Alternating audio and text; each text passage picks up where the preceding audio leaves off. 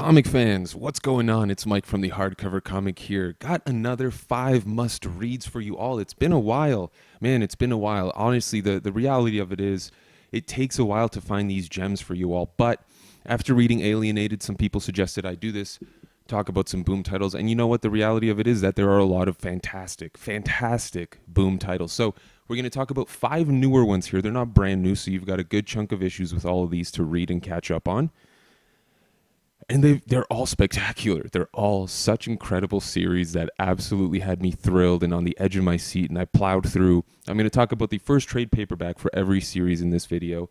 Um, I've read more, of course, but just you know to keep it spoiler free, keep it relatively light, let you know what you're in for on the first volume. I'm going to keep it as spoiler free as I can. If I let something slip, let's be a little forgiving and realize it's at least just the first trade paperback, right? I'm not going to give away any major spoilers though, but without further ado, be sure to subscribe. If you're new to the channel and you like top fives, you like anything comic related, hardcover comics, custom binding, live streams, overviews, reviews, rereading books and talking about them, giving my opinion on them, Matt and I both, um, subscribe.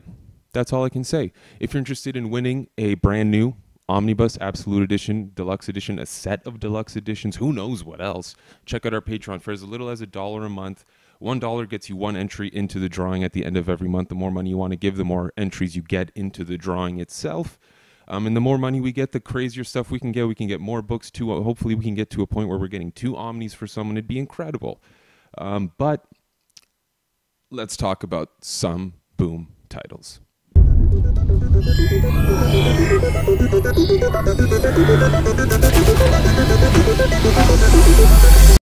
The first title I wanted to talk about is Something is Killing the Children. This is a series by James Tynion IV with artwork by Werther Dell'Edera and Miquel Muerto.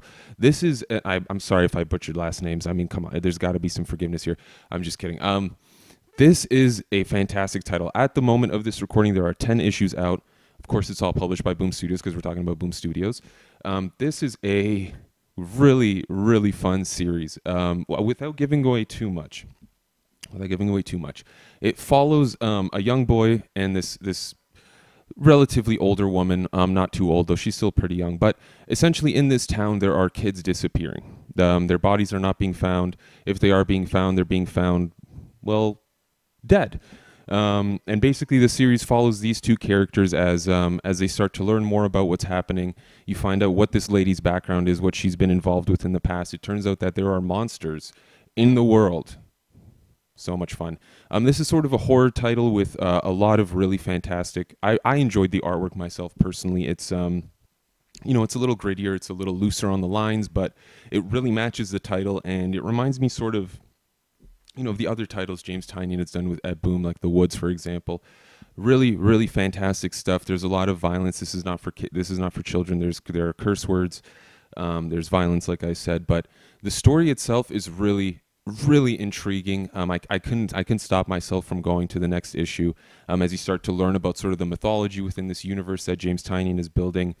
Um, you get to see again some incredible action sequences. You get to see some beautiful, beautiful um, backgrounds and scenery in this town, and of course, trying to figure out what exactly is going on is a huge part of the fun. Um, you do figure out things like there are monsters, but you know, who is this woman? What who does she work for? How did she come to be where she is now? I'm very excited to see where this title goes. Hopefully, it doesn't end too soon. Um, but I'm really glad. So far, there are 10 issues out, so there's a good chunk of material for you to read and catch up on. There are great twists and turns in here, and the, the overall ambiance and atmosphere of the series is quite chilling.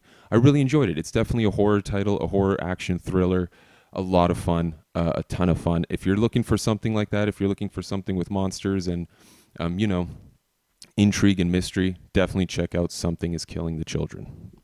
Next up is a title that deserved an entire video from me.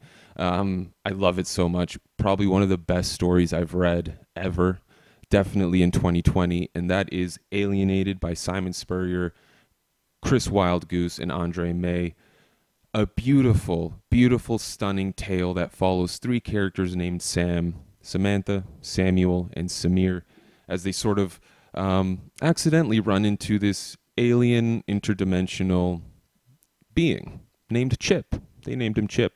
Um, and things spiral out of control from there. These three kids, they all go to the same school together, the same high school. They're all going through personal problems and struggles and and difficulties, and they, you know, they all happen to find each other one day as they're going to school, and they find Chip, and uh, things spiral out of control. Again, I'm not going to spoil anything. Um, Chip has really cool powers. He's an interdimensional being, um, and he.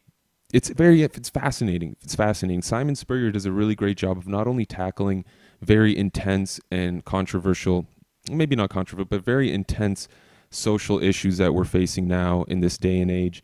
Um, but he also merges those with issues that teenagers feel on a regular basis, regardless of what time they're they're growing up in. Um, it's really, really brilliantly done. You get to see how these different characters interact with Chip and the abilities that he grants them, and how those abilities affect their problems and their ability to deal with their problems.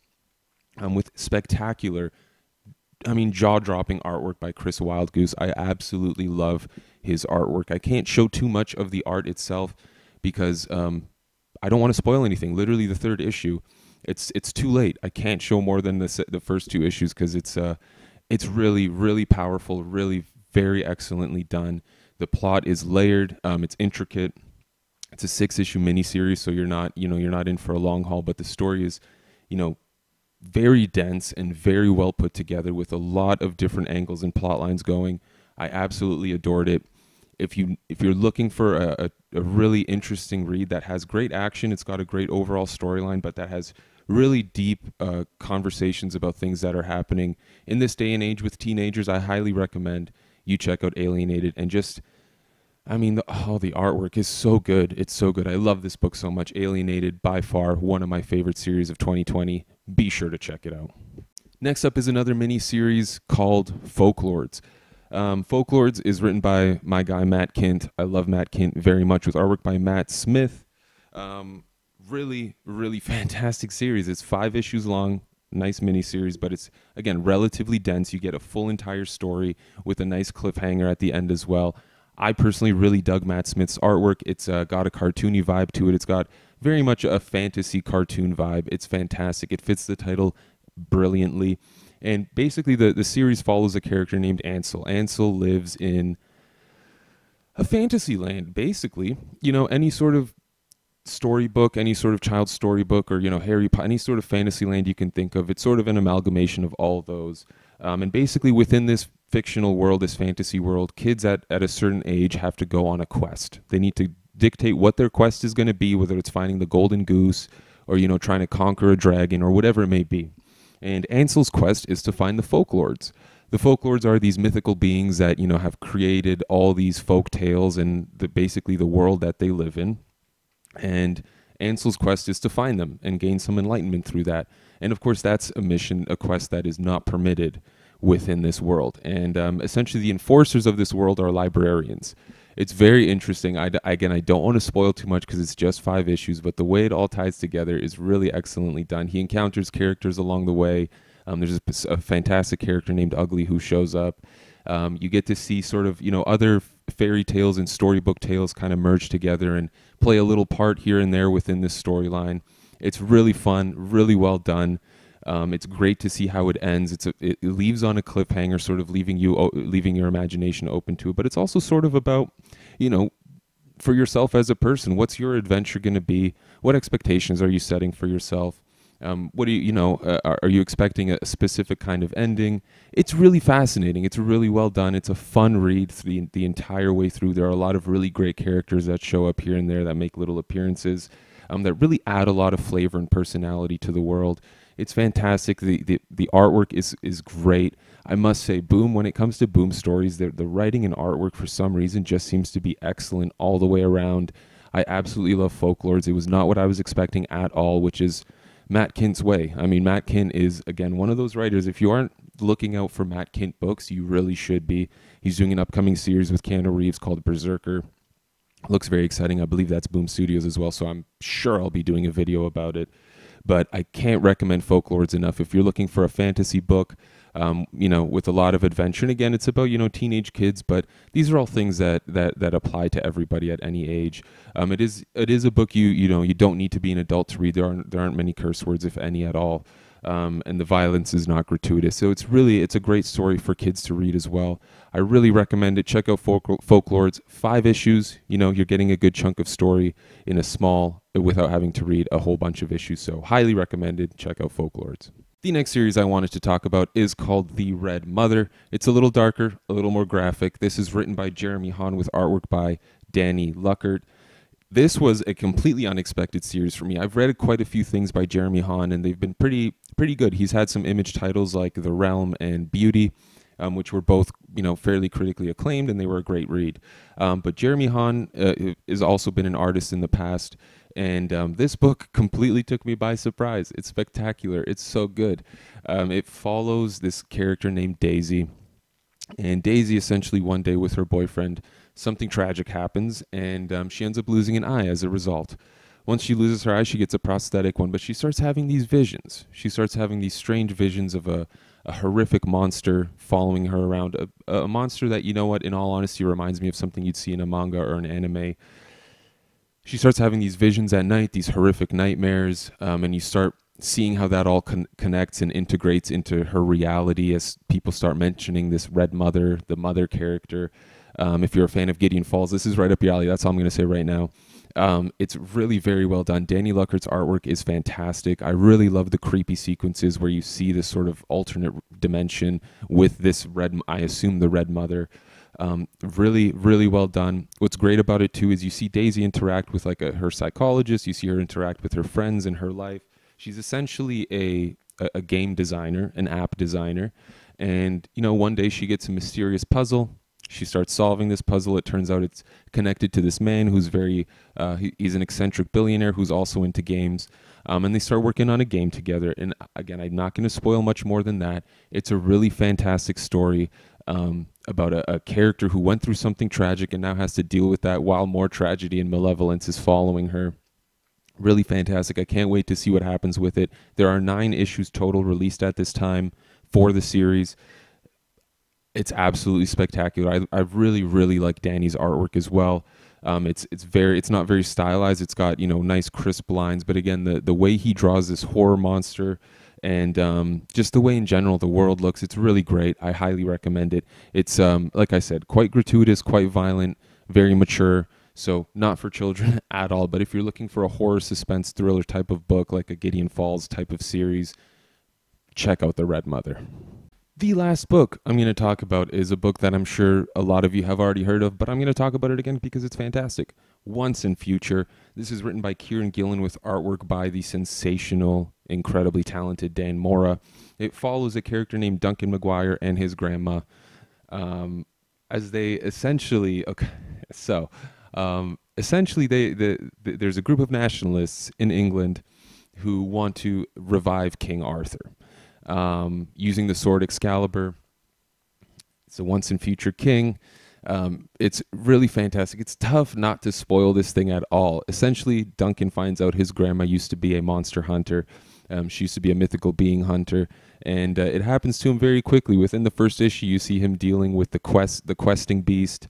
Um, within a couple issues, you have already have him dealing with this undead king. It's really exceptionally done, exceptionally done. There's a lot of mythology mixed into the storyline, which is not unusual for Kieron Gillen. He's done it plenty of times with series like Wicked and the Divine, Phonograms, Die. Um, you know, he's very big into mythology and building this huge universe with seemingly normal characters. I mean, they're you know they're just normal characters. Um, but really, really well done. The artwork by Dan Mora is to die for. I really hope Boom publishes oversized hardcovers for this series. Dan Mora's artwork is just so crisp and clean, and the the angles he uses they're spectacular. You get to see things like the Knights of the Round Table start to reform. It's exceptionally well done. Lots of twists and turns. I love it very much. Again, I can't. I don't want to spoil too much. I think I've already. I haven't said too much yet. I've, I've talked about things that happened within the first two issues. There are 11 issues out at the time of this recording, so you get a good chunk of story to catch up on.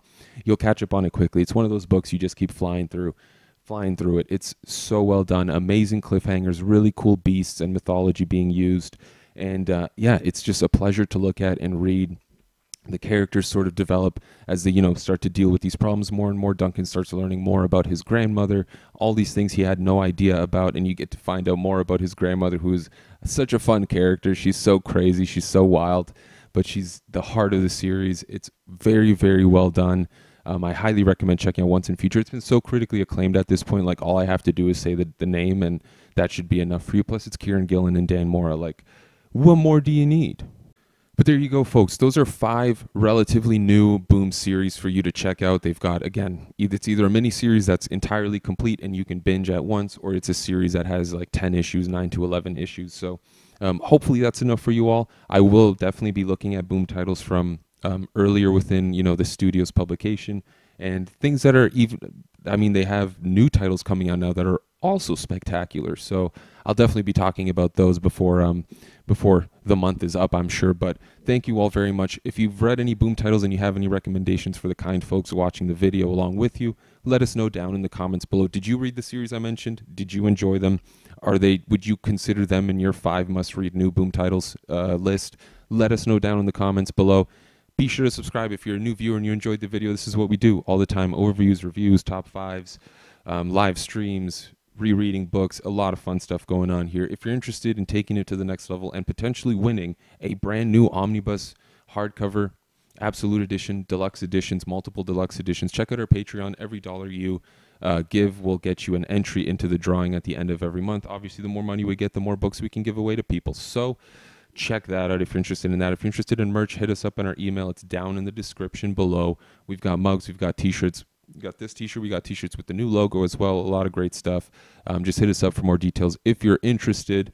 And i hope you guys are all doing well. It's been a crazy year. A lot of people are getting sick going through tough times. I wish you guys all the best. Truly i do. Um, and if you're not feeling well if you haven't been doing too well i wish you a speedy and excellent recovery. Wish you all the best. Thank you all very much. This is mike from the hardcover comic. Until next time you stay classy internet